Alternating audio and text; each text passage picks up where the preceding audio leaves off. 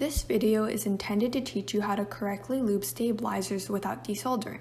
First, you'll need a tissue, tweezers if you have some on hand, dielectric grease, which I'll link in the description below, and a toothpick.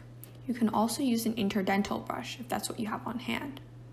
Now, we're going to take a quick look at the different parts of the stabilizers you'll need to apply the grease.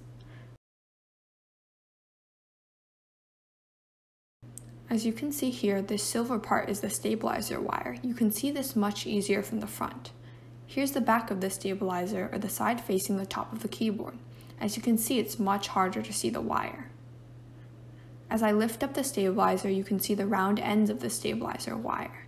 Keep in mind that the st spacebar stabilizers face the opposite way. Now, onto the lubing process. You should squeeze a small drop of the dielectric grease onto the very tip of your toothpick. Make sure you put the grease as close to the tip as possible for easier application.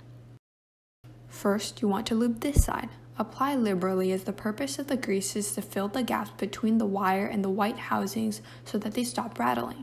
Make sure you get it all around the wire. This is usually how people tell you to lube soldered stabilizers. The second step is to apply lube on the other side of the stabilizers the harder to see side. This is crucial, and is what most people miss when lubing soldered stabilizers. Lift up the stabilizer stem with the tweezers or your fingers and once again, apply lube on all sides of the stabilizer. You should pull the white stem all the way up when applying underneath the wire, and you should lower about halfway when applying on top of the wire.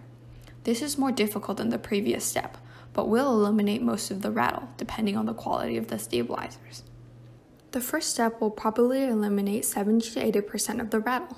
On this keyboard, it worked well for all stabilizers but the spacebar, which still continued to rattle. That's why the second step is so important, and it's what really helped my spacebar. The second step also eliminated 90% of the remaining rattle on all the other stabilized keys. If you ended up with any lube outside of the stabilizer socket, you want to wipe that down with the tissue before putting the keycaps back on to avoid getting any lube on the insides of your keycaps. And next you'll hear the sound test after lubing the stabilizers.